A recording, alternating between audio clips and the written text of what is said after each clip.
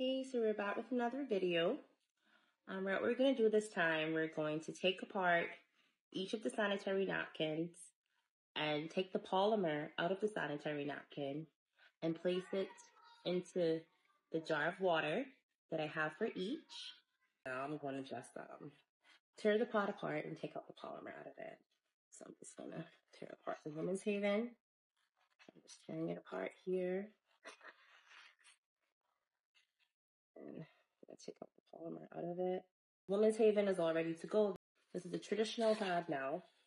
Just to take this one apart.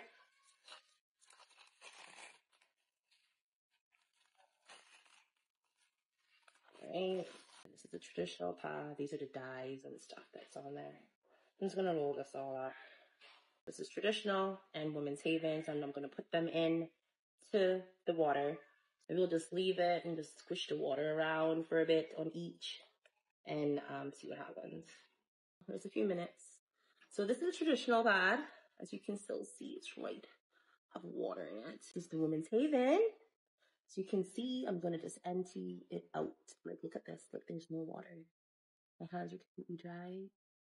I'm just taking it out. This is a polymer and like there's no water. This is just a pad. This is a traditional paddle. Try to take it out so you can see it. Pour water. So there you go. That's the test. Of course, the haven is best.